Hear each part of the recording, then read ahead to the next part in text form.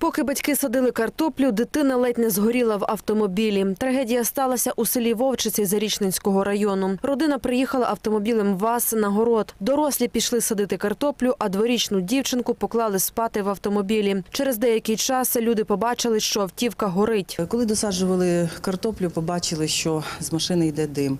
Е, Мама кинулася на допомогу, відкрила автомобіль, в результаті чого в автомобілі відбулося спалах.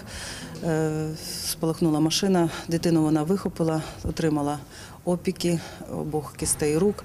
Дитина зазнала що більш е, жахливих опіків, тобто 100% дихальних шляхів. Дитину було госпіталізовано негайно до центральної районної лікарні, згодом переведено до обласної лікарні. Зараз дворічна Аня перебуває в опіковому центрі Рівненської обласної клінічної лікарні. У дитини 80% опіків тіла. Найбільш пошкодження це лице, верхні кінцівки. Е, Стан дитини на даний момент дуже важкий.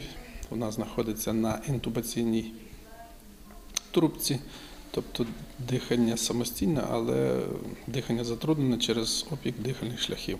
Щодня на лікування дівчинці потрібно тисяча гривень. Якщо дитина стабілізується, лікарі планують переправити маленьку пацієнтку у опіковий центр Києва або Донецька. Але поки ніяких прогнозів не роблять. Рідні шоковані, спілкуватися із журналістами відмовились. А от працівники міліції вже встановили, що причиною загорання автомобіля стало замикання проводки.